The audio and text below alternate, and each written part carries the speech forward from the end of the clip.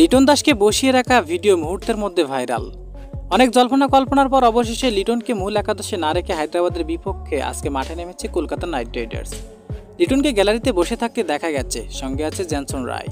আজ রাত আটটায় হায়দ্রাবাদের বিপক্ষে মাঠে নেমেছে কলকাতা নাইট রাইডার্স। লিটনকে ছাড়া খেলতে নেমে চরমভাবে বিধ্বস্ত হয়েছে কলকাতা। রীতিমতো কলকাতার বোলিংদের মেরে তুলোধনা করে দিয়েছে।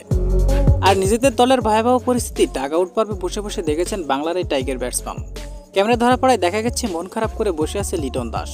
সর্বশেষ কলকাতার বিপক্ষে হায়দ্রাবাদ দুইশো আঠাশ রানের এক বিধ্বংসী ইনিংস খেলেছেন, যেখানে আজকের ম্যাচটি জিততে হলে দুইশো উনত্রিশ রান করতে হবে বিশ ওভারে। তবে কি লিটনকে ছাড়া আজকের হায়দ্রাবাদের বিপক্ষে ম্যাচ জিততে পারবে?